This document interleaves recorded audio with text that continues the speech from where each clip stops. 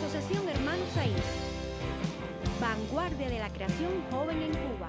Creo que todos los creadores deberíamos de unirnos para ver, como decía Martí, a quién podíamos hacer un bien todos juntos, porque ahí está la magia del arte, en unirnos para ver qué podíamos crear entre todos como medio en general, como un medio artístico en general, no que sea el teatro por su parte, la música, no, un medio en general, que la HS sea nuestra casa, pero de todos. Asociación Hermanos Saíz, vanguardia de la creación joven en Cuba.